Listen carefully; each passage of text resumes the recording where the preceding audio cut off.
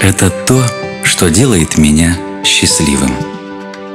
Делает особенными самые обычные мгновения нашей жизни и остается в памяти навсегда.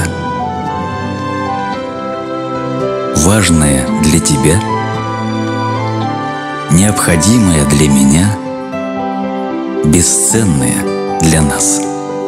Это мое.